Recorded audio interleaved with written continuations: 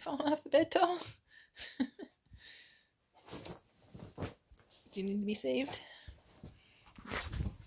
There you go. Come on.